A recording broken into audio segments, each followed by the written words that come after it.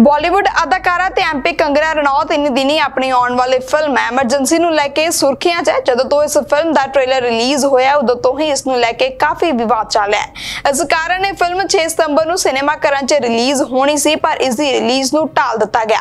ਵਿਵਾਦਾਂ ਕਾਰਨ ਇਸ ਦੀ ਰਿਲੀਜ਼ ਨੂੰ ਰੋਕਣ ਤੋਂ ਪਹਿਲਾਂ Central Board of Film Certification the screening committee ਨੇ ਇਸ ਸ਼ਰਤ ਤੇ ਯੂਏ ਸਰਟੀਫਿਕੇਟ ਲਈ ਮਨਜ਼ੂਰੀ ਦੇ ਦਿੱਤੀ ਹੈ ਕਿ ਰਿਲੀਜ਼ ਤੋਂ ਪਹਿਲਾਂ ਇਸ 'ਚ 10 ਬਦਲਾਅ ਕੀਤੇ ਜਾਣਗੇ ਤੇ 3 ਕੱਟ ਲਾਏ ਜਾਣਗੇ। ਦੱਸਦੇ ਕਿ Central Board of Film Certification ਨੇ ਫਿਲਮ ਐਮਰਜੈਂਸੀ ਦੇ ਨਿਰਮਾਤਾਵਾਂ ਤੋਂ ਵਿਵਾਦਿਤ ਇਤਿਹਾਸਿਕ ਬਿਆਨਾਂ ਦੇ ਸਰੋਤ ਦੀ ਮੰਗ ਕੀਤੀ ਹੈ। ਮੀਡੀਆ ਰਿਪੋਰਟ ਮੁਤਾਬਕ ਇਸ 'ਚ ਸਾਬਕਾ ਰਾਸ਼ਟਰਪਤੀ ਰਿਚਰਡ ਨਿਕਸਨ ਦੁਆਰਾ ਭਾਰਤੀ ਔਰਤਾਂ ਪ੍ਰਤੀ ਅਪਮਾਨਜਨਕ ਟਿੱਪਣੀਆਂ ਤੇ ਵਿੰਸਟਨ ਚਰਚਿਲ ਦੀ ਟਿੱਪਣੀ ਸ਼ਾਮਲ ਹੈ ਕਿ ਭਾਰਤੀ ਖਰਗੋਸ਼ਾਂ ਵਾਂਗ ਬੱਚੇ ਪੈਦਾ ਕਰਦੇ ਨੇ। ਜਿਸ ਲਈ ਨਿਰਮਾਤਾਵਾਂ ਨੂੰ ਹੁਣ ਇਹਨਾਂ ਬਿਆਨਾਂ ਦੇ ਸਰੋਤ ਦੇਣੇ ਪੈਣਗੇ। ਦੱਸਦੇ ਕਿ ਫਿਲਮ ਦਾ ਸਿੱਖ ਜਥੇਬੰਦੀਆਂ ਵੱਲੋਂ ਵਿਰੋਧ ਕੀਤਾ ਜਾ ਰਿਹਾ ਸੀ।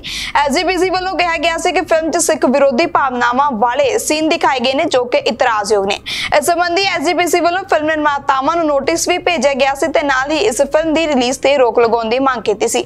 ਇਸ ਵਿਵਾਦ ਦੇ ਚੱਲਦਿਆਂ ਸੈਂਸਰ ਬੋਰਡ ਨੇ ਫਿਲਮ ਨੂੰ ਸਰਟੀਫਿਕੇਟ ਨਹੀਂ ਦਿੱਤਾ ਤੇ ਸਰਟੀਫਿਕੇਟ ਨਾ ਮਿਲਣ ਤੋਂ ਬਾਅਦ ਐਮਰਜੈਂਸੀ ਦੇ ਨਿਰਮਾਤਾਵਾਂ ਨੇ ਬੰਬੇ ਹਾਈ ਕੋਰਟ ਤੱਕ ਪਹੁੰਚ ਕੀਤੀ। ਅਦਾਲਤ ਸੀਬੀਐਫਸੀ ਦੇ ਵਕੀਲ ਨੇ ਕਿਹਾ ਕਿ ਜਾਂਚ ਕਮੇਟੀ ਜਿਸ ਨੇ ਫਿਲਮ ਨਿਰਮਾਤਾਵਾਂ ਦੇ 14 ਅਗਸਤ ਦੇ ਜਵਾਬ ਦੀ ਸਮੀਖਿਆ ਕਰਨ ਲਈ ਇੱਕ ਹੋਰ ਮੀਟਿੰਗ ਕਰਨੀ ਸੀ, ਅਜੇ ਤੱਕ ਬੁਲਾਈ ਨਹੀਂ ਗਈ ਹੈ। ਇਸ ਕਾਰਨ ਇਸ ਫਿਲਮ ਨੂੰ ਸਰਟੀਫਿਕੇਟ ਨਹੀਂ ਮਿਲ ਸਕਿਆ ਬੰਬੇ ਹਾਈ ਕੋਰਟ ਨੇ ਫਿਲਮ ਦੇ ਸਰਟੀਫਿਕੇਟ ਤੇ ਫੈਸਲਾ ਲੈਣ ਲਈ ਸੀਬੀਐਫਸੀ ਨੂੰ 18 ਸਤੰਬਰ ਤੱਕ ਦਾ ਸਮਾਂ ਦਿੱਤਾ ਹੈ।